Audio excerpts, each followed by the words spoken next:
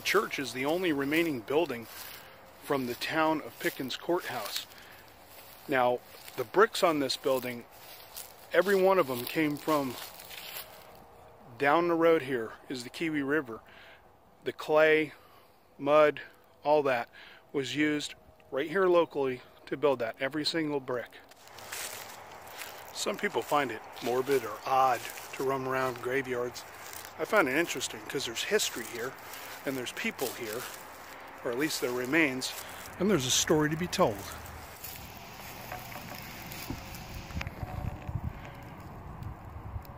There's a lot of children's graves over here.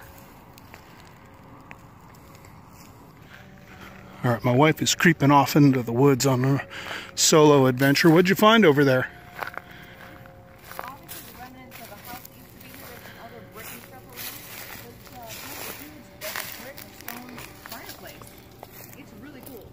Check out this red clay. Oh yeah, we've got some foundation or walls. Yep. And let's get down in there. There's a, whoa, a fireplace, or what's left of one.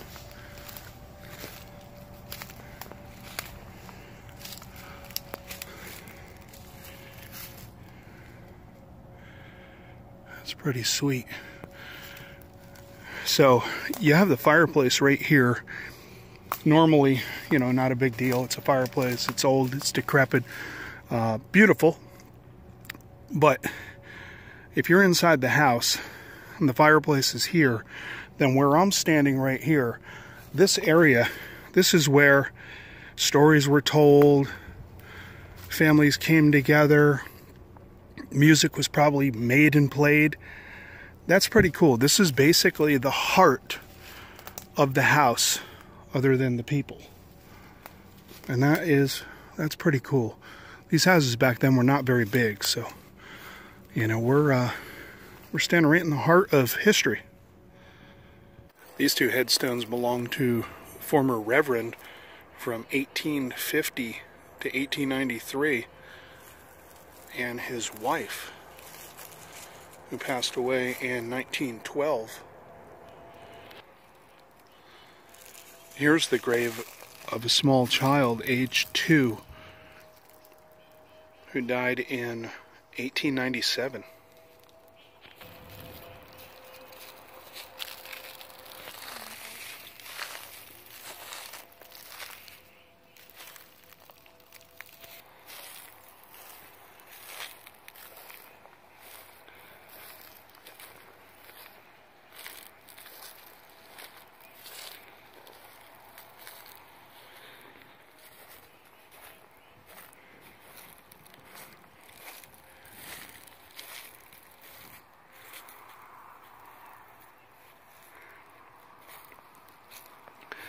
We have a few military veterans buried over here.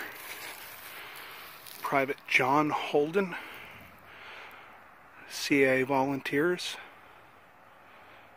Confederate States of America, 1848 to 1911.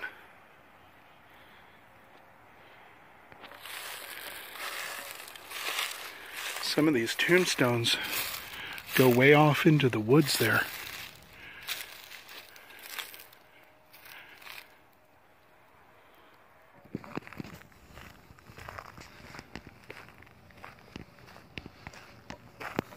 Let's see if we can get a look inside.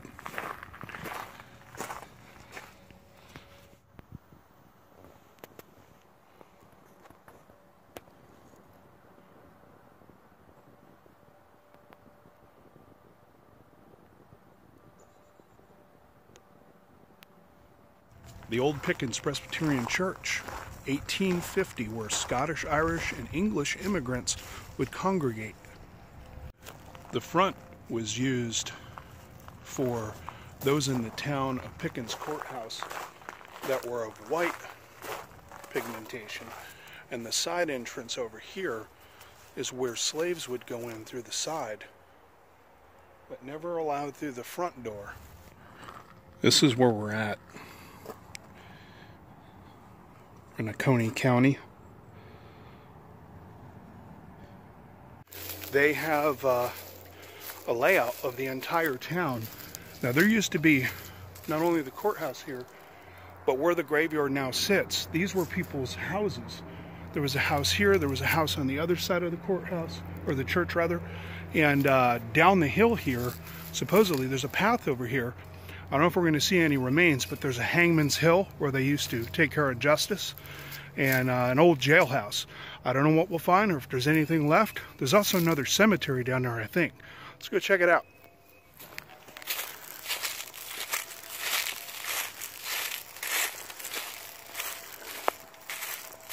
Oh yeah, sure enough.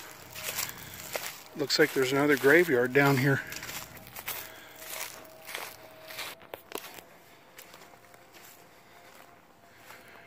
Not really seeing dates on these other than a few of them.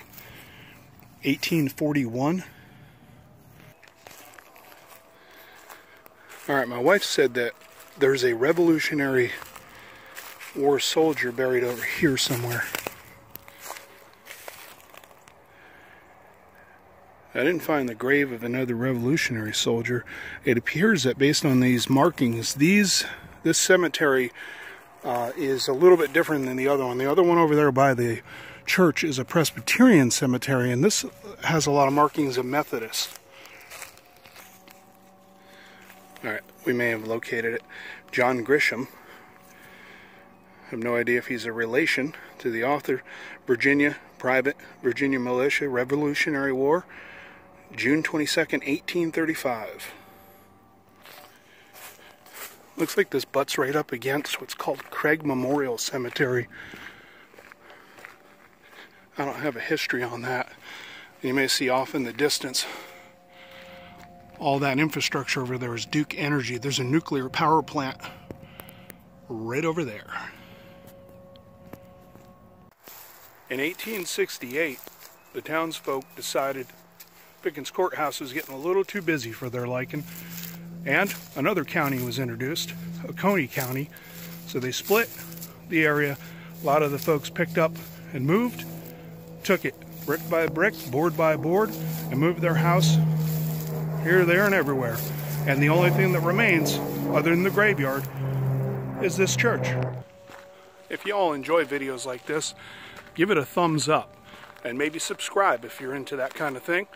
I'm also on social network, Aimless Adventures, Patreon, Aimless Adventures, Instagram, Facebook, that whole thing.